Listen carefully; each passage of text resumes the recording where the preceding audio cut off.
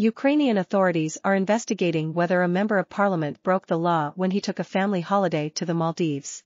Officials are banned from traveling abroad on holiday, while men of conscription age need special permission to leave the country.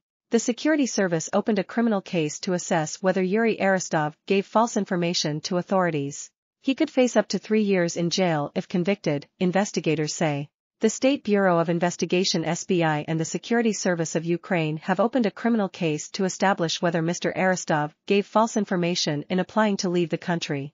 The SBI said initial investigations found that Mr. Aristov had been on the private island of Ithaafushi in the Maldives in mid-July with his wife, children, when he was registered as being on sick leave.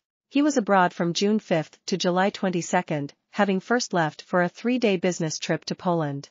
He was first spotted in the Maldives by Ukrainian media. Ukraine war in maps, Russia targets grain facilities we believe and wait Ukrainians on the frontline Ukrainian President Volodymyr Zelensky warned public servants in a speech on Tuesday that any betrayal of the country's interests would trigger fury.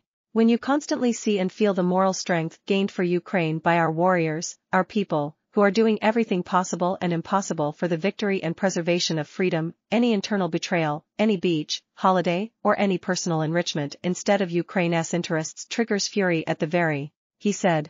Mr. Aristov has handed in a letter of resignation which will be discussed in the next parliamentary session, Parliament Speaker Ruslan Stefanchuk said on Facebook.